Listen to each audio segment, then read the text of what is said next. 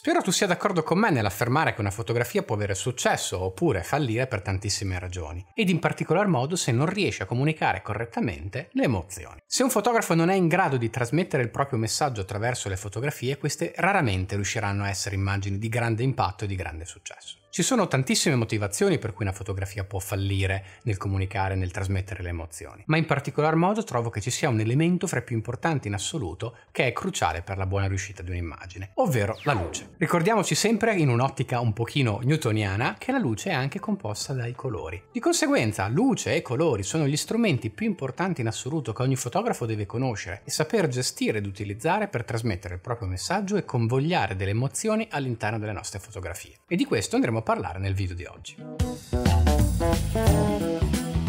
Per iniziare direi subito una cosa molto importante. La luce che un fotografo va a scegliere nelle proprie fotografie, sia essa artificiale oppure naturale, deve essere la luce adatta per il nostro soggetto e per il messaggio che vogliamo comunicare. Ad esempio, se vogliamo comunicare una scena di caos, di intensità e dinamicità, dovremmo sicuramente prediligere una tipologia di luce, mentre se vogliamo mostrare una scena tranquilla, rilassata, felice, pacifica, la stessa luce probabilmente non andrà bene e avremo bisogno di altri elementi. Non voglio entrare nel dettaglio di luci dure e luci morbide in questo preciso frangente. Voglio solo far notare che dobbiamo essere in grado di scegliere la luce giusta per il nostro messaggio che vogliamo comunicare e che abbiamo anche a disposizione tantissimi strumenti per farlo. Se scattiamo in esterno ad esempio un paesaggio, sì, dobbiamo aspettare la luce giusta del giorno, però noi fotografi possiamo scegliere l'ora migliore, il giorno migliore, la posizione migliore e ripetere anche il processo nel corso dei giorni. Potremmo utilizzare anche delle luci esterne, dei flash oppure dei filtri, dei modificatori di luce. Se scattiamo in studio ovviamente il controllo della luce sarà totale. Ma non dobbiamo basarci unicamente sul controllo della fonte luminosa. Abbiamo anche degli elementi della nostra macchina fotografica come i parametri di scatto, tempi diaframmi oppure il bilanciamento del bianco che ci permettono di aggiustare i colori, aggiustare le cromie e anche la quantità di luce in ingresso nella fotocamera. E infine non dimentichiamoci di un altro elemento importantissimo che è l'editing. Anche l'editing, la post-produzione delle nostre immagini è un qualcosa che molto spesso si tende a dimenticare ma ci permette di avere un enorme controllo sul risultato finale delle nostre immagini. Tutto questo per dire che noi fotografi abbiamo davvero tanti strumenti per andare a gestire la luce e non dobbiamo cercare scuse dicendo che non abbiamo avuto a disposizione la luce perfetta per i nostri scatti. Ciò detto, iniziamo a parlare degli elementi più importanti, ovvero la luce e l'oscurità.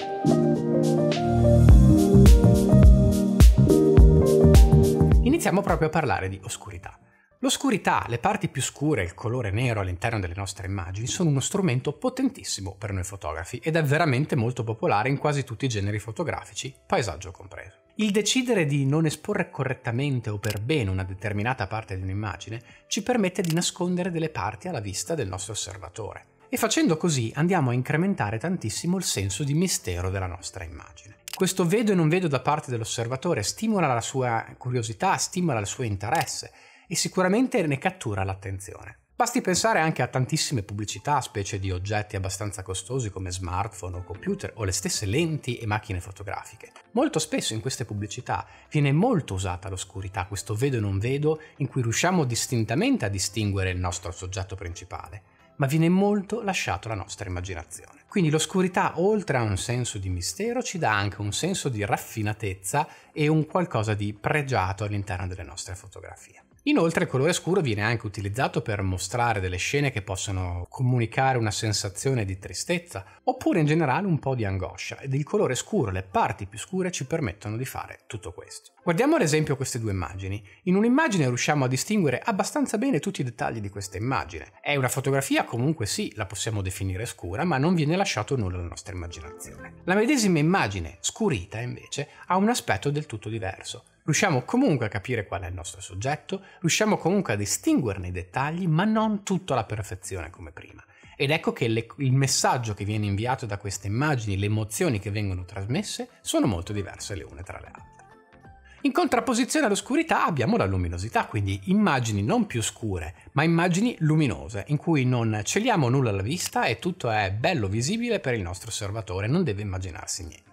Queste fotografie in contrapposizione con le altre non danno un senso di angoscia o di mistero, tutt'altro, ma trasmettono un senso di felicità, leggerezza e spensieratezza, non c'è nulla di cui si deve preoccupare il nostro osservatore. Tipicamente fotografie di questo genere sono scattate di giorno quando l'abbondanza di luce ci permette di mostrare tutto senza ombre o senza elementi scuri che non riusciamo a distinguerli. E queste fotografie le associamo sempre a un senso di felicità e spensieratezza.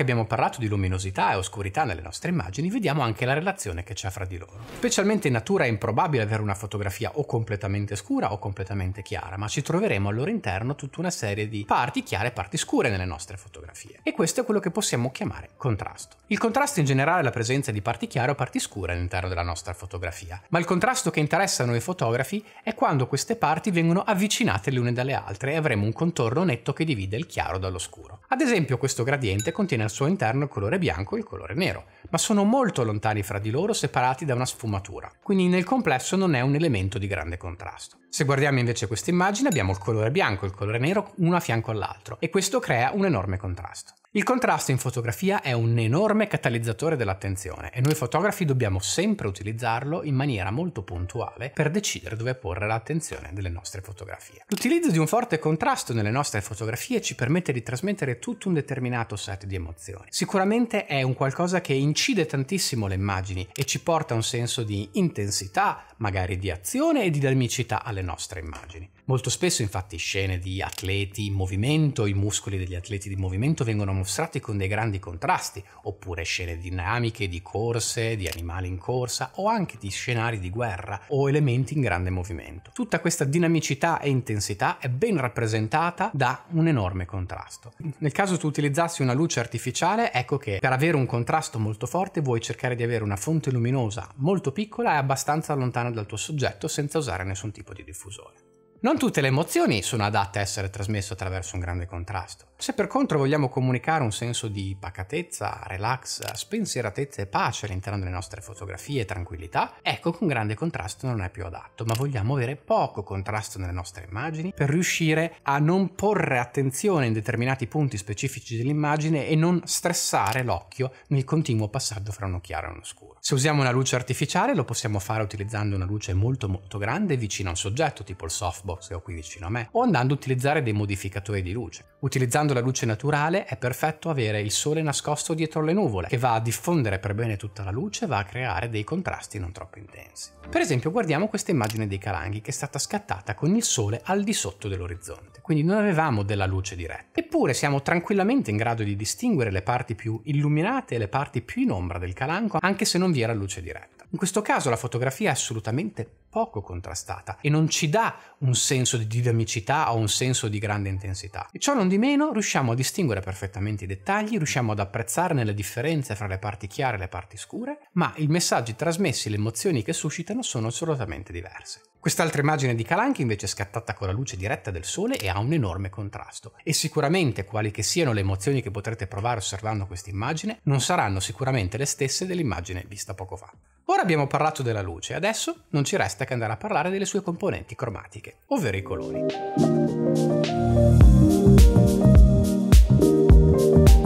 Vorrei fare una macro distinzione utilizzando i colori più comuni che abbiamo in mente, che sono quelli dell'arcobaleno, e li vorrei dividere in due gruppi. I cosiddetti colori caldi, che sono il rosso, l'arancione e il giallo, e i cosiddetti colori freddi, che sono il verde, il blu e il viola sostanzialmente. Iniziamo a parlare del colore rosso, che appunto è un colore caldo. Questo è un potentissimo catalizzatore dell'attenzione. Se abbiamo un elemento rosso all'interno delle nostre immagini, il nostro occhio tenderà a osservarlo immediatamente, a posizionare la nostra attenzione su di esso. È un colore che non siamo molto abituati a vedere in natura, infatti sono presenti alcuni animali come le coccinelle, oppure qualche frutto o qualche bacca, ma in generale non è un colore che si osserva così spesso. È anche un colore che nell'immaginario comune siamo abituati ad associare all'amore e alla passione, quindi è un qualcosa che andiamo a ricercare e ci cattura tantissimo la nostra attenzione. Inoltre anche il colore che può essere ad esempio associato al sangue, quindi è un qualcosa che immediatamente cattura la nostra attenzione ma non ci comunica necessariamente un senso di pace e spensieratezza. Parliamo adesso dell'arancione. Anche l'arancione, come poi tutti i colori caldi, sono in generale degli elementi, dei colori che vanno a catturare molto la nostra attenzione. Però l'arancione, a differenza del rosso, ha un colore molto più comune in natura. Per esempio tutti i tronchi degli alberi sono marroni, ma il marrone è una variazione dell'arancione. Oppure i cieli all'alba e al tramonto con un bel nelle ore d'oro sono infuocati e tendono ad avere moltissime tonalità di arancione al loro interno. Inoltre l'arancione è presente anche in pellicce di molti animali o ad esempio anche nel colore della sabbia nella sabbia dei deserti. Il colore arancione in generale è un colore che dà una sorta di sensazione di calore, visto sia come un calore di grandi temperature, una grandissima e afosa giornata estiva, sia come un calore di un ambiente accogliente che un po' richiama il focolare domestico. Immaginiamo un bellissimo tramonto caldo. Lo definisco caldo appunto perché è accogliente, ci trasmette una sensazione di pace, serenità e non di pericolo o di ansia come invece fanno i colori scuri. Facciamo un esempio videografico del colore arancione. Fate caso, in moltissimi film, quando abbiamo delle scene in qualche salotto domestico, in qualche ambiente familiare, uno dei colori predominanti sarà proprio l'arancione. Questo perché comunica un senso di appartenenza, un senso di accoglienza, di casa propria, di un posto tranquillo dove passare del tempo senza nessun pericolo e preoccupazione. Infine parliamo del colore giallo. Il colore giallo forse è uno dei colori che più associamo alla felicità in generale e già da bambini siamo abituati anche a colorare il sole di colore giallo. Quindi noi associamo sicuramente all'idea di giallo un qualcosa di felice e gioioso, spensierato, una bella giornata luminosa. Inoltre il giallo in natura lo troviamo anche in numerosi frutti e fiori. Quindi sicuramente è un colore che andiamo ad associare tipicamente a degli elementi felici nelle nostre fotografie e quindi dovremo andare a cercare di utilizzarlo per comunicare dei messaggi di questo genere. Anche il giallo, come tutti gli altri colori caldi, è un punto di grande attenzione all'interno delle nostre fotografie. Passiamo adesso invece ai colori freddi. Iniziamo adesso a parlare del colore verde. Questo è il colore che nell'immaginario comune associamo tutti quanti alla vita e alla natura. E queste sono anche le emozioni che possiamo andare a trasmettere un senso di appartenenza a un ambiente naturale, tranquillo e pacifico, non certo di pericolo e angoscia. Immaginate anche tutte le sale operatorie e i camici dei medici. Sono tipicamente dipinte di un colore verdastro molto molto tenue. Questo perché ci trasmette un senso di rilassatezza e tranquillità. Immaginate se invece, entrando in una sala operatoria invece trovaste tutte le pareti colorate di un colore rosso acceso. Ecco che il vostro stato d'animo e le vostre emozioni sarebbero molto diverse. Quindi il colore verde, specialmente per chi fotografa paesaggi, viene associato immediatamente alla natura e a un ambiente tranquillo e pacifico. Parliamo adesso del colore blu.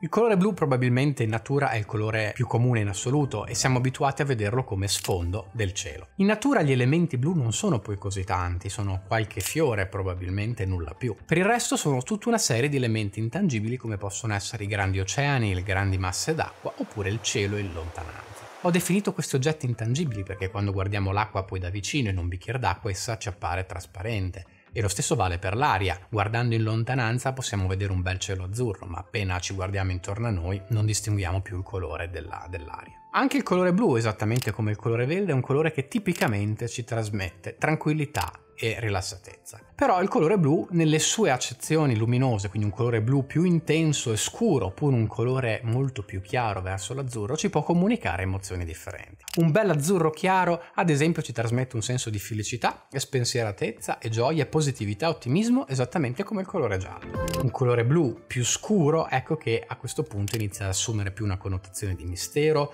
un qualche cosa più di senso d'angoscia, di azione quindi può avere veramente tante variazioni a seconda della sua luminosità.